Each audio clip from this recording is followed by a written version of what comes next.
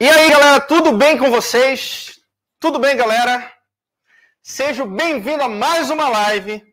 Lembrando que hoje a gente vai ter uma live quarta-feira e na sexta a gente vai ter outra live. Primeira coisa, o áudio tá bom. Ao vivo, a gente tem que testar aqui com vocês. O áudio tá bom, você consegue ver direito. Me fala a sua cidade. O que a gente vai ver hoje? A gente vai ver fotossíntese. Como é que fotossíntese ela pode cair no Enem? A gente vai falar, você que tem dificuldade nesse assunto, então a Kate está falando que sim, tudo certo então, né? Beleza? Já vai mostrando onde você é. Então, cara, bora começar aqui. Para quem quiser, olha, todo mundo sabe como é que eu dou aula, né? Eu gosto de fazer os esquemas. Então você já pode pegar aí papel e caneta e a gente já começa a fazer um esquema aqui para ver fotossíntese. Então, galera falando que tá tudo certo aí, o Rafael, beijão para você, a Kate. Então, o que a gente vai ver aqui, né, gente? A gente vai ver aqui o que a gente chama de fotossíntese. Síntese. É claro que a gente não vai ver só o básico, tá, galera? Não é? Kennedy, o máximo que eu sei de fotossíntese é a fórmula.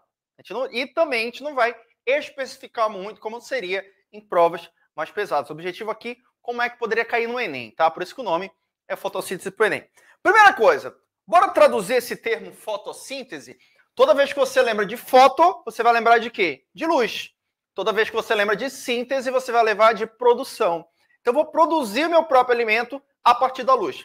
A fotossíntese, ela pode ser dividida em fotossíntese, só para ter uma noção. Vou colocar aqui número um. Número um. O que a gente chama de fotossíntese clássica. Vou colocar com toda a calma do mundo. Se eu estiver indo rápida, rápido aqui, é só me falar. Fotossíntese clássica. Qual é a fotossíntese clássica, Kennedy? É aquela feita por quem, Kennedy? É aquela feita, olha, olha o esquemão aqui. Feita por plantas, reino vegetal, feita por algas, reino protoctista, novo nome para o reino protista, feito também por cianobactérias. Vou colocar aqui, cianobactérias.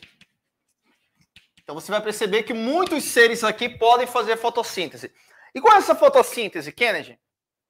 Olha aí, Murilo aí. Qual é essa fotossíntese? É onde esses seres aqui vão pegar basicamente o quê? O dióxido de carbono ou gás carbônico. Lembrando, galera, se cair gás carbônico em prova, ele é uma substância inorgânica. Já veio até uma, uma vez em prova que falava assim no Enem, que a planta, as plantas utilizam o carbono, o gás carbônico, como forma inorgânica. Teve aluno, Kennedy, mas ele não é orgânico, uma vez que ele tem carbono? Lembra que nem tudo que tem carbono é orgânico, tá? Eu tenho que ter basicamente o carbono ligado diretamente no hidrogênio para a gente considerar uma substância orgânica. Então, dióxido de carbono, o gás carbônico, ele é inorgânico. Eu vou pegar o que aqui também? Vou mostrar até uma coisa diferente aqui para vocês, tá? Eu vou pegar aqui água, Bora colocar aqui. Já vou te explicar porque eu estou colocando 12 de água. E a gente diz que na presença, mostrar aqui, da luz branca. Bora colocar aqui. Luz branca. Branca. E quem é que vai absorver essa parada? Deixa eu ver se eu tenho um verdezinho aqui. Eu tenho, tem colorir o quadro, senão não vai ficar legal.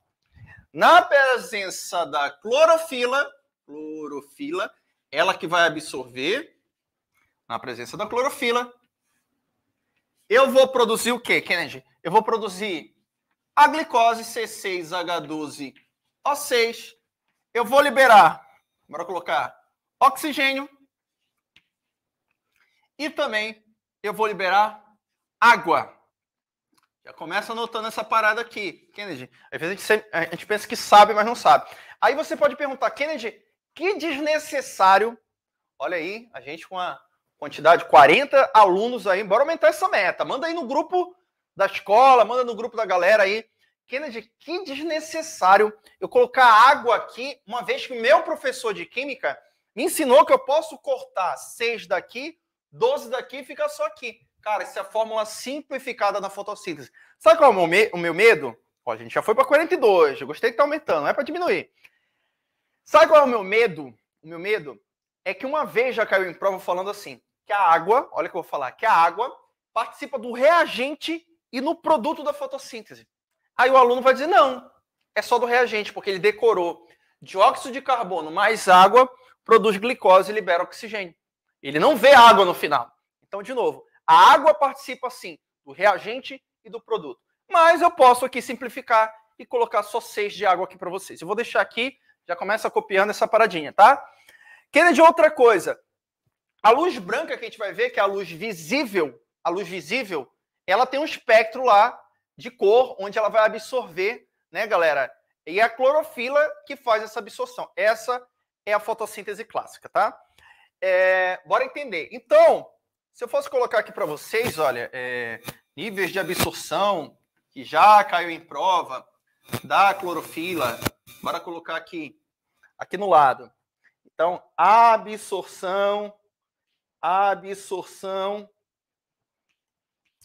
de luz ou de energia luminosa, tá? E aqui pode ter os, os o comprimento de onda, que vai desde, bora colocar aqui, azul, anil, né? Anil, azul. A gente tem aqui pelo meio o verde, que você lembra lá da física quando você estuda. E por aqui, deixa eu ver se tem um vermelhozinho aqui. É, só tem rosa. A gente vai usar o rosa como vermelho. E bem aqui tem um vermelho. Vermelho. É claro que aqui no meio do caminho, galera, tem o laranja, tem o violeta, aqui tem, o, tem outras cores. Quem me responde? Eu só estou colocando três aqui. Eu estou colocando azul, eu estou colocando verde e eu estou colocando o vermelho. Quem me diz aí qual seria o melhor para a planta absorver? Qual é a melhor luz para a planta absorver? Primeira coisa, eu estou falando de luz branca, é um aspecto visível, tá? Então, eu não estou falando nem da ultravioleta, eu não estou falando nem do infravermelho. Eu estou falando um aspecto visível aí. Quem seria, olha, isso é cara de Enem, isso é cara de Enem cobrar esse tipo de questões. Quem seria o melhor para a planta absorver. Eu já vi uma vez em prova, galera. Na verdade, já vi uma vez na televisão um repórter falando assim: olha, estamos aqui na Amazônia e eu estou vendo aqui o verde, olha que lindo de verde. Verde é sinônimo de fotossíntese. Será que verde é sinônimo de fotossíntese? Será que quando você olha para uma folha, olha aqui, ó, você está olhando aqui uma folha, você está realmente pensando em fotossíntese? Uma folha é verde? Não, galera. O verde, vocês que já estudaram, Olha para cá, vocês que são safos. Se eu coloco aqui isso aqui amarelo, por que isso aqui é amarelo no espectro visível? É porque vocês são safos em física. É porque tá a luz, eu tenho uma luz branca aqui no meu estúdio, está batendo nesse quadro aqui, está absorvendo as demais cores e está refletindo só o amarelo. Se eu coloco aqui um verde, olha aqui o verde aqui, não sei se dá para diferenciar na câmera, mas se eu coloco um verde, esse aqui é verde, tá? Esse é amarelo. Se eu coloco um verde, é que ele está absorvendo as demais cores e está refletindo só o verde. Eu estou vendo verde porque ele está refletindo verde. Então pensa comigo. Se a folha é verde e é no mesófilo foliar, ou seja, no meio da folha aqui, no meio da folha, onde acontece principalmente a fotossíntese, é porque a planta ela prefere o verde? Não. O verde é uma das piores cores. Não quer dizer que ela não possa usar. Ela pode usar em outro, mas dificilmente você vai ver uma folha geralmente é, é, de outras cores, como azul, como vermelho, até tem, mas o verde é uma das piores cores, por isso que você não vai colocar que o verde é a melhor cor para fotossíntese. Então, as melhores cores para fotossíntese é principalmente o azul e o vermelho, tá? O verde não é absorção de luz, o azul, a gente coloca azul arroxeado, vermelho alaranjado, são as melhores cores, tá, galera? Então, a galera aí que tá Esquema é a melhor forma, tá? Então a galera já sabe, você não precisa nem decorar se você lembrar que o azul e o vermelho são os melhores de boa na lagoa. Deixa eu complicar um pouquinho mais. Bora puxar isso para física? Já foi questão, já foi questão. Vocês estudaram lá na física aquele é, quarto escuro, né? Sei lá o nome que dão, né? Bora, bora dar um, um exemplo aqui. Vamos imaginar, ele colocou aqui, câmara escura, né? Vamos imaginar que a gente colocou aqui numa câmara escura uma planta, olha o que ele falou, uma planta que nos olhos de luz branca, ela é verde. Essa planta aqui, quando ela é colocada aqui uma luz branca dela, ela é verde. E eu vou colocar bem aqui, olha, nessa abertura aqui. Isso aqui tá tudo escuro, tá? Então, bora colocar aqui câmara. Câmara escura. Para colocar aqui de boa. Câmara escura. E a gente coloca aqui uma iluminação nela. Deixa eu fazer aqui só para você imaginar uma fonte de luz. Tá? E bora imaginar que a gente coloca primeiro uma luz branca. Luz branca. Branca. Quem me responde aí? Ela era verde na luz branca. Qual é? Ou ele fala primeiro, ele não pode dizer que era verde, ele pode dizer que quando a gente coloca uma luz branca, aos nossos olhos ela fica verde. Beleza, ela fica verde.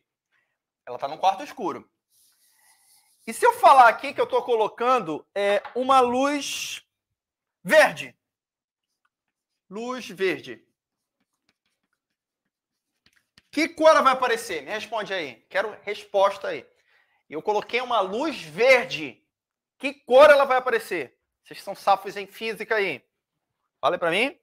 Ela vai continuar aparecendo verde. Por que ela vai continuar aparecendo verde? Porque ela reflete o verde.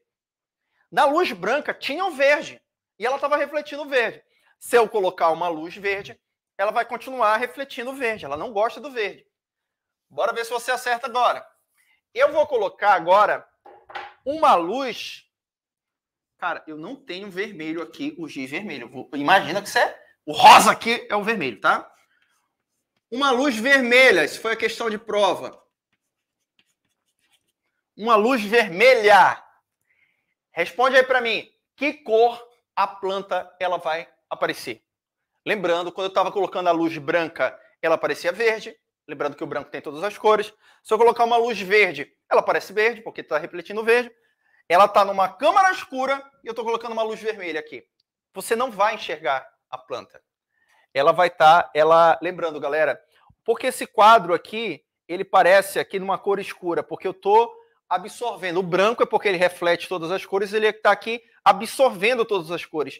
Então, você não vai nem conseguir enxergar a planta, tá? Então, eu posso misturar aqui um pouquinho de fotossíntese, quem quiser anotar essa parada aí, e eu posso misturar com física. Olha que legal. Então já bate um print aí. Outra coisinha que eu posso colocar para vocês também.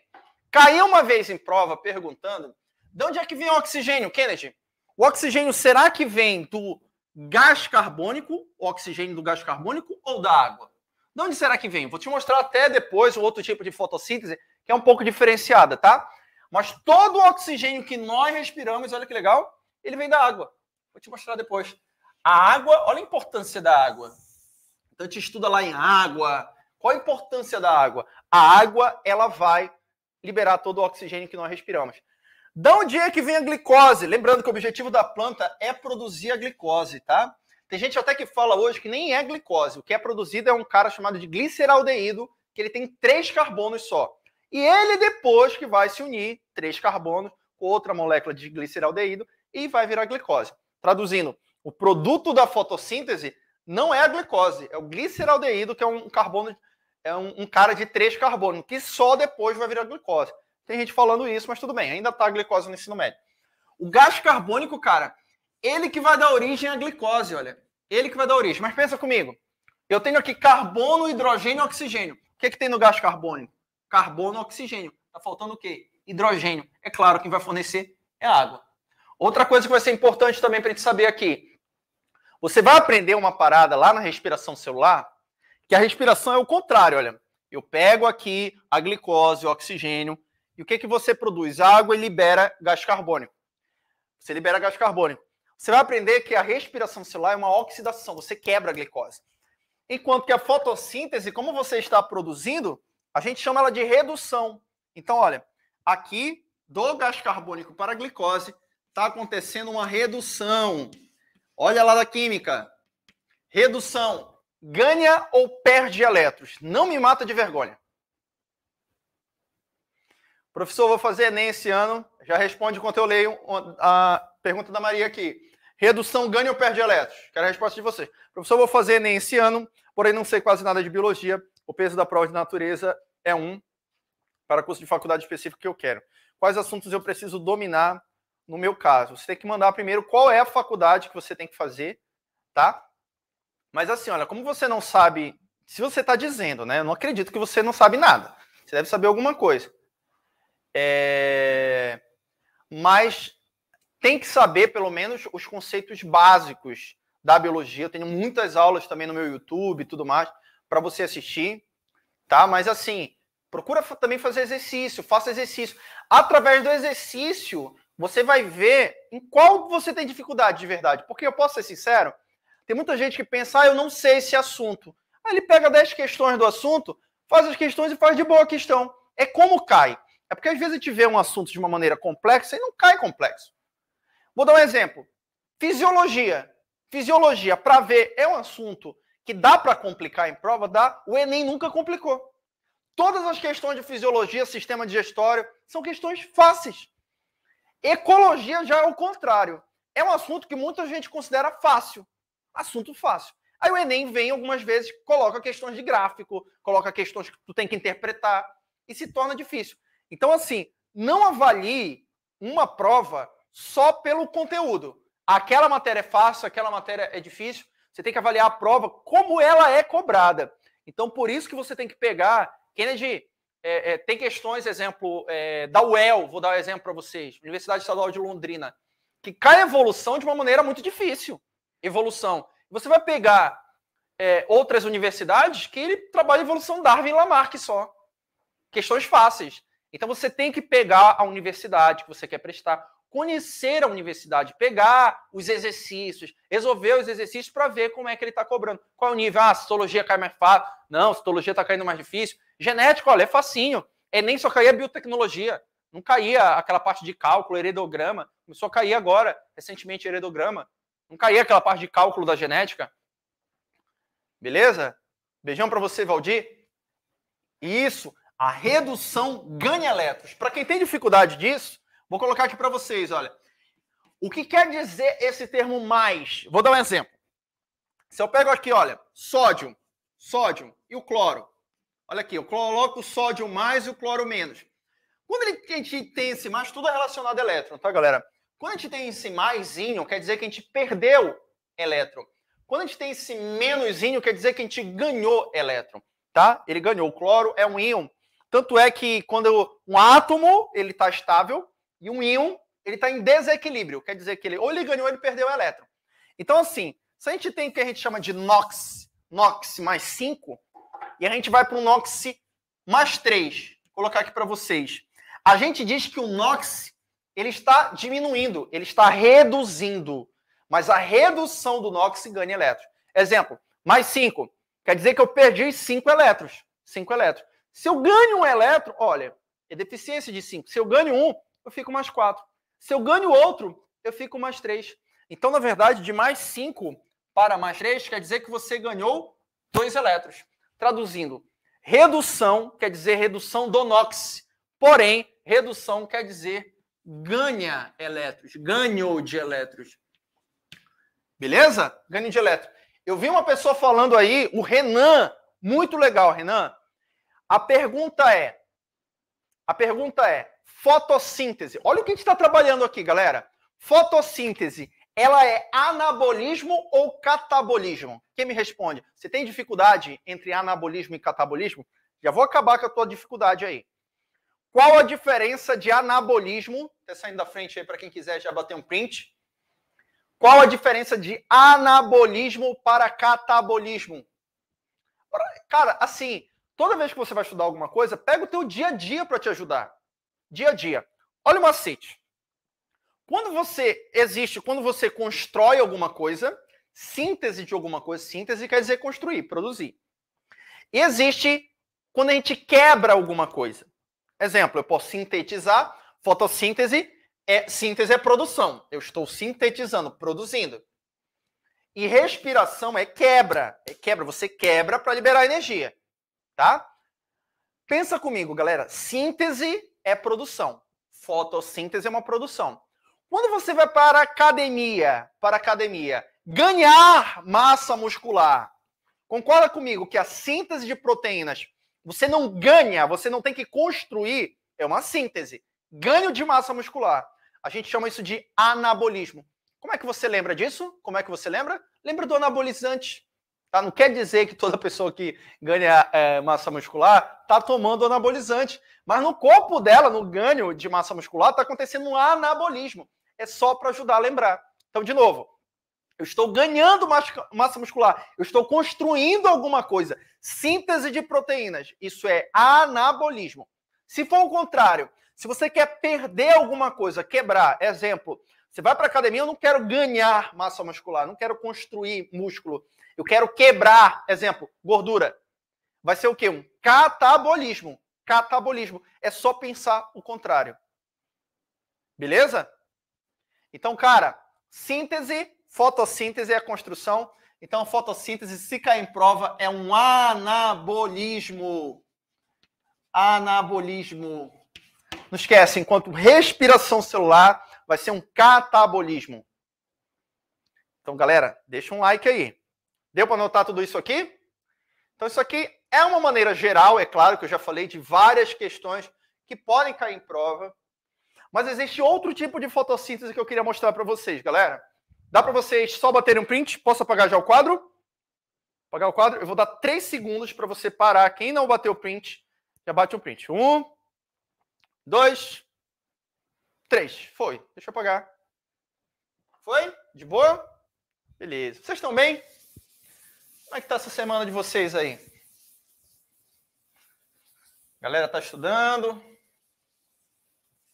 acompanhando as lives. Lembrando que amanhã aqui a gente tem aula do professor Baiano e o professor Dé. Professores de matemática estão aqui com vocês sempre para ajudar vocês. Número dois, olha. Número dois. Existe uma fotossíntese que o nome dela é chamado de fotossíntese bacteriana. Bacteriana. Energia, é só bactéria que faz? Antigamente a gente pensava que sim. Por quê? Porque antigamente não tinha mais cianobac... a cianobactéria não era bactéria, era uma alga. Tanto que o termo ciano quer dizer azul, ela era uma alga azul. Hoje as cianobactérias elas foram enquadradas como bactérias.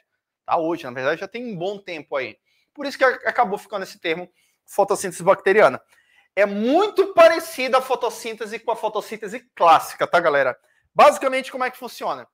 Tem um gás carbônico? Tem. Mesma coisa, gás carbônico. Só que eu vou fazer a fórmula simplificada, tá? A fórmula simplificada. Em vez de água, eu vou ter aqui o sulfeto de hidrogênio. De hidrogênio não, de enxofre. Olha que legal, sulfeto de enxofre. Outra coisa. Lembra que da agora eu coloquei a luz branca? a luz branca. Aqui eu vou ter agora um infravermelho. Infravermelho. Vermelho. Lembra que agora era clorofila? Agora vai ser a bacterioclorofila. É só o termo bactério. Bacterioclorofila. Tem gente até que me pergunta, Kennedy, é... como é que bactéria consegue fazer fotossíntese se ela não tem cloroplasto? Lembra para mim que o cloroplasto é uma organela que abriga o pigmento chamado de clorofila. No caso dos eucariontes, eucariontes, tá, tá mais complexo, né, galera? Tá dentro, os pigmentos, eles estão dentro de uma organela, tudo organizado, tudo mais, bonitinho. No caso das bactérias, eu posso ter só o pigmento. Então não tenho cloroplasto, mas eu tenho a clorofila. De boa? Lembrando também que não é só a clorofila que absorve luz. Eu tenho outros pigmentos. A clorofila a gente considera o principal que absorve, mas eu tenho também xantofila, eu tenho outros carotenoides, carotenoides que dá a coloração alaranjada, exemplo, por uma cenoura. Então, eles ajudam também a absorção de luz, beleza? Então, o que, que eu vou produzir aqui? Isso já vou te mostrar como é que o, o oxigênio vem da água. Por quê? Ela vai produzir alimento também, o C6H12O6, e no final, em vez de liberar o oxigênio, olha que vai liberar aqui o enxofre, que por sinal, ele é da família do oxigênio. É da família do oxigênio. Kennedy, isso mostra que quando eu troco a água aqui, eu troquei aqui também. Não é liberado mais oxigênio, é liberado enxofre. Ah, mas toda a fotossíntese, o objetivo dela não é liberar oxigênio? Não, galera. O objetivo da fotossíntese é produzir o próprio alimento. Só que ao longo da evolução, acredita-se que a primeira fotossíntese a existir foi a fotossíntese bacteriana e a fotossíntese anaeróbica. Olha o termo que eu estou utilizando. Existe a fotossíntese aeróbica, que libera oxigênio, e existe a fotossíntese anaeróbica. Anaeróbica. Isso aqui eu vou dar um exemplo para vocês. Exemplo. Isso aqui eu tenho algumas bactérias, são chamadas de bactérias. Bactérias. Bactérias. Púrpuras. Púrpuras. Tem a cor um pouco púrpura, né? Sulfurosas. Furosas. Que a gente pode encontrar principalmente em fontes termais, perto de vulcão, onde você vai sentir um cheiro de enxofre tem bactéria lá fazendo fotossíntese. Só que em vez de liberar o oxigênio, está liberando quem? O enxofre. Beleza? Bactérias púrpuras sulfurose. Em vez dela absorver a luz branca, ela está liberando, absorvendo infravermelho. O Rafael está perguntando as algas que fornecem mais oxigênio? Correto. Lembrando que quando a gente fala de fotossíntese, até legal, vou puxar isso. Gabriel, muito obrigado. Até quando a gente fala de oxigênio, só lembra uma coisa para mim, galera eu tenho aqui uma. Bora falar de planta? Isso aqui é bactéria. Deixa eu apagar isso aqui. Bate uma foto. Porque senão a galera vai confundir pensando que o exemplo que eu estou dando de planta é o exemplo da bactéria ali. Não. Posso apagar aqui? Bate uma foto aí, bate o print. Já dei tempo. Beleza. Muito legal. Gabriel ele falou uma coisa muito interessante que pode cair no Enem também. Que eu vou dar um exemplo para vocês. Quando a gente fala de ambiente terrestre, terrestre. Quem são os principais produtores? São plantas, tá? Eu tenho alga também no ambiente terrestre, mas para dar um exemplo aqui para vocês. São as plantas principalmente, né, galera? Tá? Bora trabalhar aqui. É... Bora imaginar que a gente está falando da Amazônia. Da Amazônia aqui para vocês, olha. Já que a gente está falando de fotossíntese. E quando a gente vai trabalhar com ambiente aquático, bora colocar aqui, aquático, não estou dizendo que não tem vegetal também. Mas o grande exemplo, claro que tem vegetal que pertence ao reino vegetal. Mas o grande exemplo, bora dar um exemplo aqui. Exemplos são, o principal exemplo são as plantas.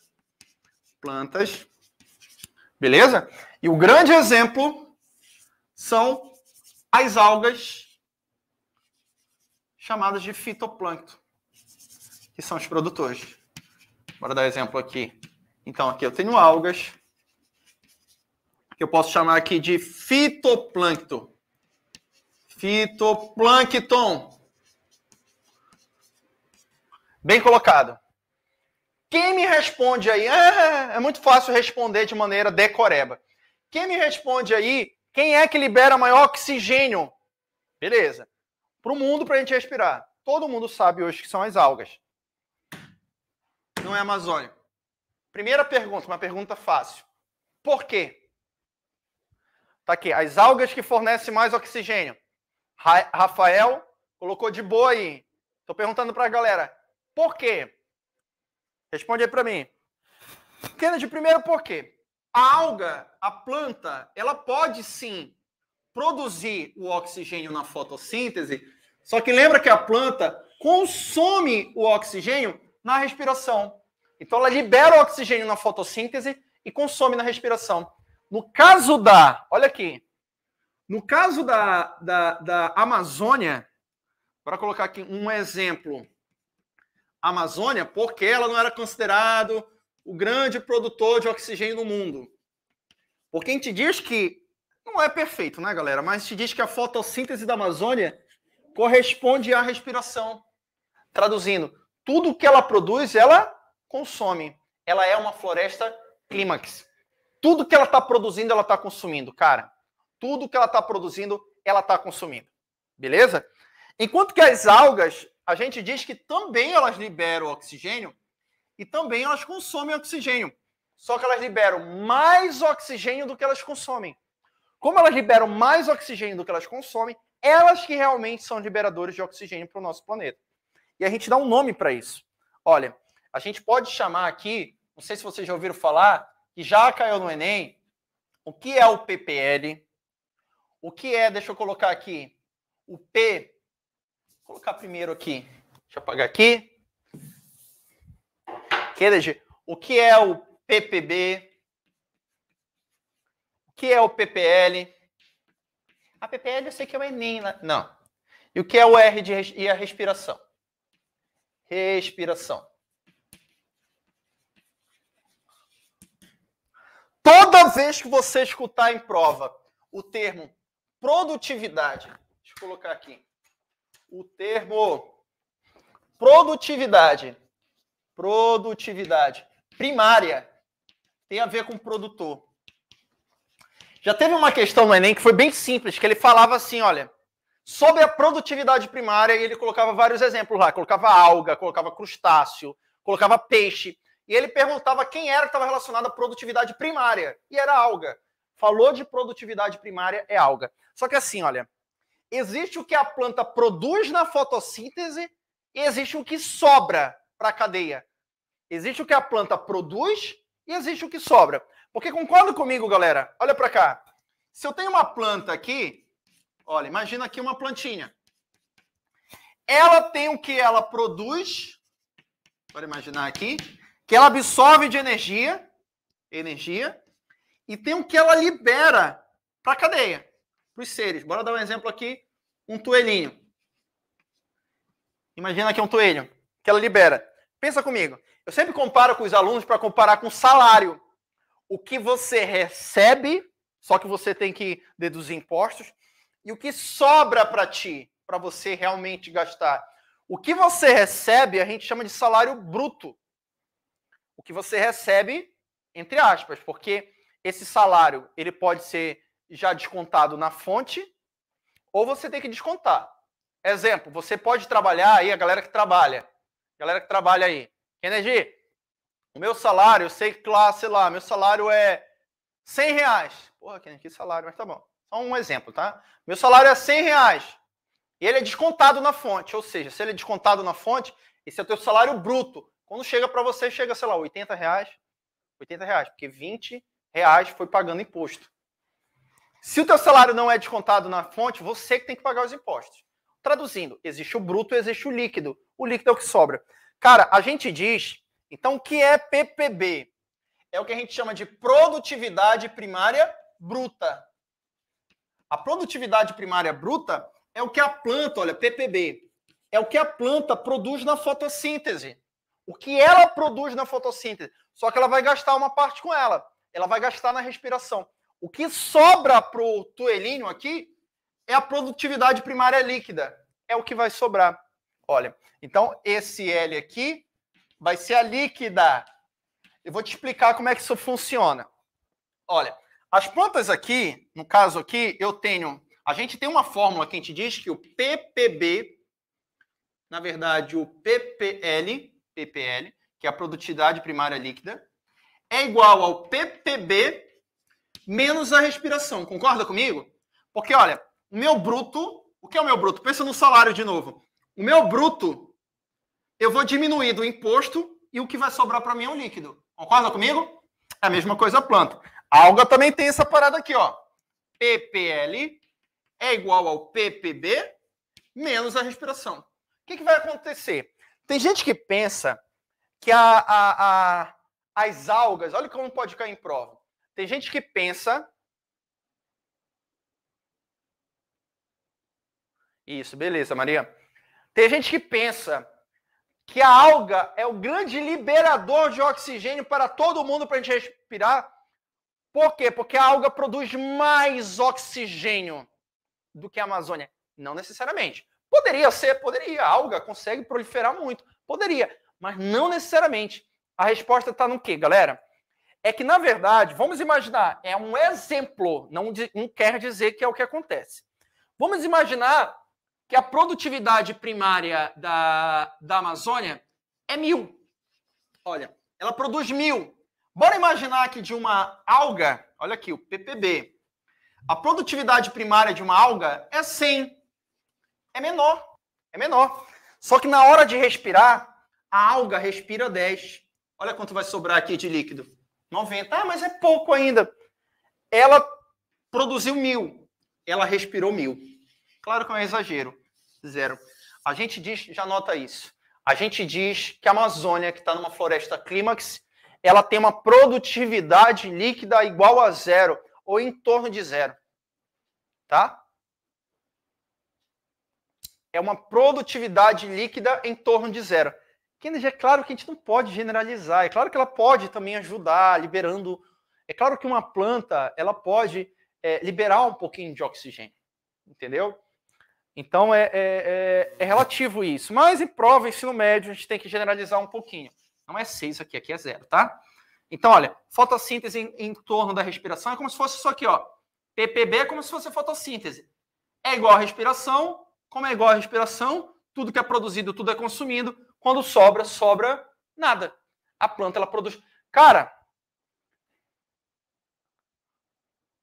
é, cara, outra coisa, é, existe uma. Já vi em prova também quando a gente fala de fotossíntese.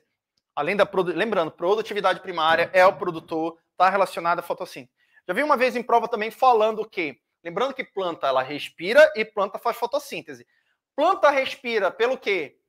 Planta respira pelo quê, Kennedy? Através, claro, ela, ela vai respirar e vai fazer fotossíntese através do que a gente chama de estômatos. Ela faz as trocas gasosas dela pelos estômatos. Estômatos, tá? Mas assim, eu já vi uma coisa em prova dizendo que planta faz fotossíntese de manhã e respira à noite. Planta faz fotossíntese de manhã e respira à noite. Isso é errado, cara planta ela faz fotossíntese de manhã e à noite. Como assim? Fotossíntese é um processo químico. Olha o que eu estou te falando. Fotossíntese é um processo químico. E aquilo que eu mostrei no quadro da agora era uma reação química. Absorção de luz é uma etapa. Fotossíntese não se limita apenas à absorção de luz. Fotossíntese é o processo químico. Existe uma etapa chamada de fase clara que acontece a absorção de luz. Mas existe uma etapa chamada de fase escura que é da fotossíntese que é uma fase enzimática, que ela pode acontecer, apesar de ser fase escura, de manhã e à noite. A respiração é um processo químico também. Ela pode acontecer de manhã e à noite. É um processo químico. Até porque esse termo aqui, ó. Ah, eu tô respirando. Isso aqui tu tá inspirando. Ou tu tá colocando oxigênio para dentro do teu pulmão. A gente chama isso de ventilação pulmonar. Inspirar e expirar, o nome correto seria ventilação pulmonar inspirar e expirar. A respiração, ou respiração celular, é um processo químico. Químico. Claro que muitas vezes a gente usa no dia a dia fotossíntese. Olha a planta fazendo fotossíntese. Como se fosse só absorver luz. Ah, estou absorvendo luz, estou fazendo fotossíntese. Como se uma pessoa aqui, eu aqui dentro dessa sala, se eu fosse uma planta, não pudesse fazer fotossíntese. Poderia sim. Ah, eu estou colocando respiração como se fosse só colocando oxigênio e tirando oxigênio. A gente coloca. A gente esquece tudo que acontece dentro do meu corpo, todas as etapas de é, glicólise, ciclo de Krebs, cadeia respiratória, a gente esquece tudo. Então, não, cara. Então, cuidado com isso, tá? A fotossíntese acontece 24 horas, perfeito. E não para, tá? Fica. Existe até um gráfico aqui que eu queria mostrar para vocês, olha. Posso apagar aqui? Bate um print aí. Olha quanta informação já dei para vocês aqui, para vocês detonarem prova. Tem um gráfico aqui, deixa eu mostrar para vocês. Apagar.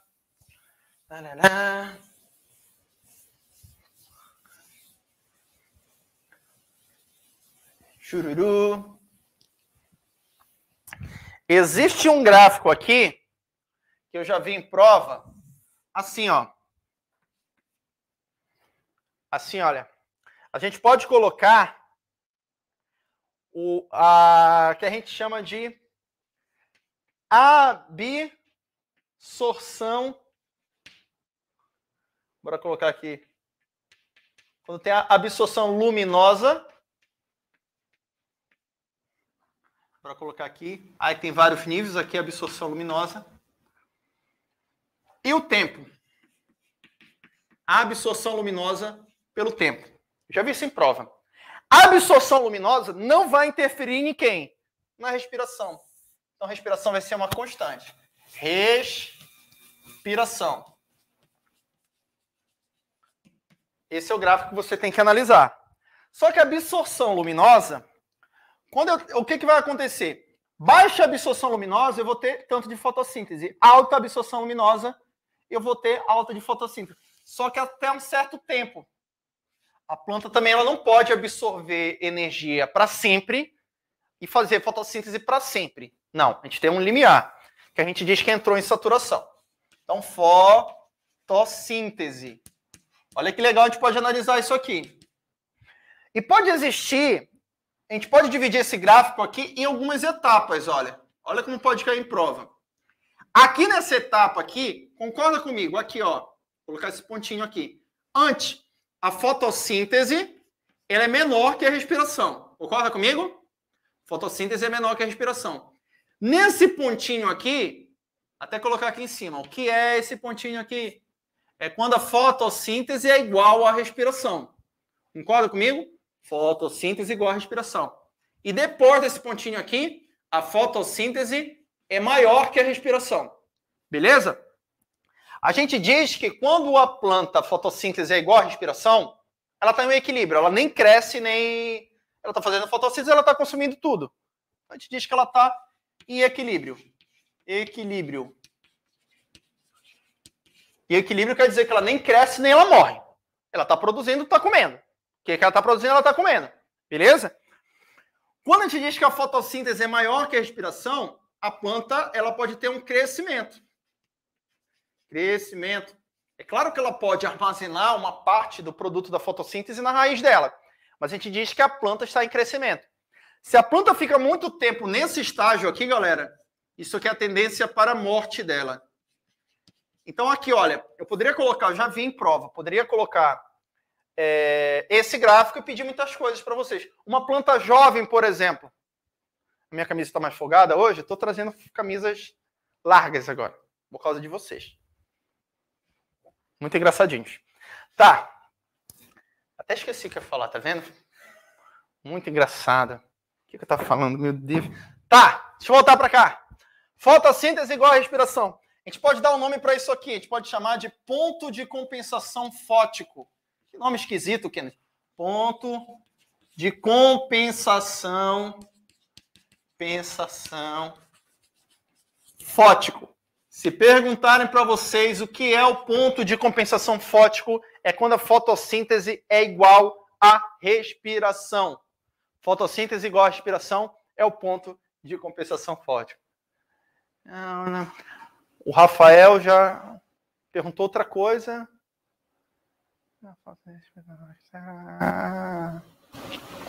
Não, Rafael, mesossomo já foi mais que comprovado que ele era, na verdade, uma agressão por, por corantes há muito tempo nas bactérias. Tá? E para muitos autores, mesossomo não existe mais. Não existe. Se cair em prova, tiver um autor lá que falou, a gente ensina porque se tiver aqueles autores que ainda são antigos, você vai dizer que está relacionado à respiração bacteriana, ajuda na divisão celular, tá? Beleza? Então, cara, isso aqui é importante em prova. Anota isso aqui. Uma planta jovem, uma planta jovem, olha uma planta jovem, geralmente a fotossíntese dela é maior que a respiração. Porque quando ela está na fase de crescimento, na fase de crescimento, uma planta jovem, ela precisa crescer, tanto é que o caule dela, o caule dela é esverdeado, ela faz fotossíntese no começo pelo caule também, depois fica basicamente nas folhas. Mas a gente diz que a fotossíntese dela é em torno da respiração. Não é legal ela ficar nisso aqui, ó. Fotossíntese menor que a respiração. Para as plantas que têm é, locais onde elas vivem com sazonalidade, o que é sazonalidade? Onde você tem um período de verão, primavera, outono e inverno bem estabelecidos, que não acontece em regiões equatoriais muito bem. A gente não consegue distinguir. A gente não consegue porque a gente até fala, ah, porque a gente não consegue distinguir muito bem porque não tem mesmo. Exemplo, você que mora aí próximo da linha do Equador, você não vê, você vai ver o quê? Verão e menos verão, tá? Mas, não é verdade, é verão e verão. Eu nasci no norte, cara. Então a galera lá, eu, eu, eu com 22 graus, eu tô tremendo de frio. 22 graus aqui, aqui em Santa Catarina, a galera tá indo pra praia. A galera tá de boa, tá acostumada. Então olha, olha como é. Então pra gente tá, tá tremendo lá, porra, hoje tá frio. Entendeu? Mas por quê? A galera tá acostumada com 35, 40 graus. Isso é um calor. Então, não é que, na verdade, é o, o inverno da gente, o cara chama de chuva de inverno. Então, não. As plantas, olha o que elas fazem. Isso estou falando de mim, tá? É, que eu estou me acostumando aí.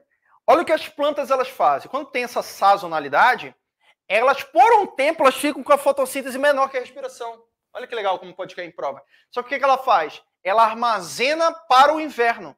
Ela armazena na raiz dela amido. Ela produz glicose, junto à glicose, é, é, armazena na raiz dela o amido, e nesse amido ela pode utilizar lá. E olha que interessante, cara. Olha o que pode cobrar em prova. Olha o que pode cobrar em prova. Vocês já aprenderam uma vez lá na botânica? Olha aqui, ó. Lá na botânica, deixa eu mostrar aqui para vocês. Uma plantinha de boa na lagoa. Vocês aprenderam lá na botânica que tem um cara que sobe internamente levando água e sais minerais. Lembra para mim quem é que chove? Quem é que chove? Só para gente brincar aqui. Chove é quem? O Lema. Acabou, não erra mais. Quem é que chove? É o Chilema. O Chilema chove levando água e sais minerais. Beleza? Erradamente, seiva bruta, isso, seiva bruta. Erradamente, a gente falava antigamente que o floema ele descia. Erradamente a gente falava que o floema ele descia. Hoje a gente sabe já caiu até na FUVEST, olha, FUVEST, que o floema, floema, floema, ele é bidirecional. Bidirecional. Tem dois R, bidirecional. Por que eu estou falando isso? A planta faz fotossíntese, chole não, chobe, chobe, chobe, de subir. De brincadeira, tá? Chobe de subir. Subir. Cara, é, a gente sabe hoje que a planta, é claro, ela faz fotossíntese, principalmente. E isso caiu na FUVEST, uma questão dessa. A gente sabe que a planta ela faz principalmente fotossíntese nas folhas, não quer dizer que ela não possa fazer em outro local, nas folhas. E ela pega esse, esse produto, outra coisa, a seiva elaborada, olha que já caiu em prova. O produto dela não é só açúcar. A gente mostra no ensino médio a glicose. Mas existe a fotossíntese do lipídio, existe a fotossíntese da proteína. Então caiu uma vez em prova dizendo que a seiva elaborada, olha o que falou, que ela tinha açúcar, carboidratos, lipídios, proteínas e ácidos nucleicos. E o cara marcou como errado. Não, o professor ensinou que é açúcar. Existe, galera. Assim como na respiração, que a gente falou o contrário, existe a respiração da glicose, do ácido graxo, que é o lipídio, do aminoácido. A gente não vê no ensino médio. Mas a, seiva, a planta, ela produz sim açúcar, proteína, lipídio, ácido nucleico na sua seiva elaborada. E ela distribui por toda a planta. Só que no inverno, quando ela precisa, ela tira da raiz. Como é que ela distribui para toda a planta? É através do floema, que sobe também. Ele é bidirecional. Bidirecional. Outra coisa, na floração também. Quando a planta ela precisa, lá na primavera, fazer o que a gente chama de floração, ela precisa de muita energia e ela também pega açúcares que está armazenado na raiz. Não quer dizer que amido só tem na raiz, é por todo o corpo da planta, principalmente na raiz. E o floema ele pode subir também, levando nutrientes para todo o corpo da planta. De boa? Então não esquece. Xilema, chobe, é chobe, não é chole. Chobe e floema é bidirecional. Kennedy, o Enem cobraria algo que não está na grade curricular do ensino médio? Cara, eu acredito em tudo tipo isso que o senhor falou da fotossíntese, é porque assim está muito implícito, né? Está muito fora do comum. O que a gente tenta fazer aqui é o orientar vocês. E na verdade isso aqui, esse negócio do floema, não está fora da grade. O que que acontece, galera? É que vocês estudam biologia e é uma ciência o que é uma ciência exata? Não, não é uma ciência exata. Ela ela faz parte das ciências naturais. Tem coisa que a gente vai estudando, tem coisa que a gente vai modificando, tem coisa que a gente vai descobrindo. Então, é, a matemática, até a matemática, ela vai é, é, desenvolvendo técnicas e tudo mais, acreditando em algumas coisas, mas a matemática considera uma ciência exata. É uma ciência que não vai mudar o 2 mais 2. 2 mais 2 é igual a 4, não sei, pode, o cara pode fazer outro cálculo e provar. Mas 2 mais 2 é 4. É, é, tem até uma brincadeira que colocou na internet que fala assim: é, um papagaio, não sei se vocês já viram, ele aprendeu a falar depende e se formou em biologia. Não sei se vocês já viram isso. Sabe por quê? E é uma pura verdade. É uma pura verdade. Porque todo aluno que vem me perguntar, Se eu tiver no ensino médio, não é, depende, que eles, eles afunilam. Mas para o ensino superior, depende. Porque tudo que a gente for perguntar, depende. Estão descobrindo, depende. Tudo existe exceção no português. Não tem exceção? Tem. Imagina na biologia, cara, que é uma ciência natural. Galera que vai fazer medicina. Se fosse a medicina, se fosse exato, só seria um computador poderia analisar as pessoas. Só que uma doença ela tem um geral, só que cada pessoa tem especificidade em particular. Daí a função do médico é analisar cada pessoa. Por isso que para a medicina também depende. Depende do paciente, depende da análise. A análise clínica, ela sempre está tá, tá acima de qualquer coisa. Então, um paciente é uma coisa, no outro paciente é outra coisa, no outro paciente. Na verdade, é isso que me deixa feliz. Na... Por isso que eu escolhi uh, uma ciência natural e não uma ciência exata. Essas mudanças que a gente tem que estar tá pesquisando, a gente tem que estar tá toda hora mudando. Olha, no passado caiu o tratamento de esgoto das estações de tratamento de esgoto, que nem está na grade do ensino médio, entendi. É complicado, né? Por isso que eu procuro ver tudo, entendeu? Não fazendo a propaganda, mas no meu site, lá em biologia, é, tem lá, eu falo de tratamento de esgoto. A gente pode ter uma aula, se vocês quiserem, a gente pode ter uma aula de falando de poluição e eu posso falar um pouquinho de tratamento de, de esgoto. Até uma questão do Enem, do corpúsculo que faz a fotossíntese do molusco, você quis dizer, né? E isso tem uma questão, eu acho que ele quis falar molusco, não corpúsculo, né? Isso, existe um molusco verde, mas nessa questão do molusco,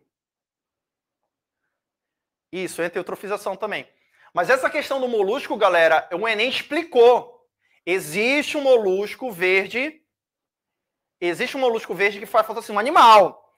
Pensava-se que ele ele, ele absorvia alga e era a alga que incorporada no corpo dele fazia fotossíntese. Foram para o laboratório e descobriram que, na verdade, no próprio DNA dele, ele já conseguia produzir, ou seja, existe um animal, uma exceção, que faz fotossíntese. Tá? Mas o Enem explicou lá. O Enem explicou. Porque o Enem, na verdade, o objetivo do Enem, se não é decoreba. Isso, uma aula de impactos eu posso fazer também para vocês. Galera, a gente vai ficando por aqui, a gente já falou muita coisa. A aula parece que passou muito rápida hoje, tá? Então já está indo para quase uma hora de aula. Mas era isso que eu queria mostrar para vocês. E muitas questões também é resolvendo exercício. Coloca na cabeça de vocês. Vocês têm que conhecer o vestibular que vocês estão fazendo.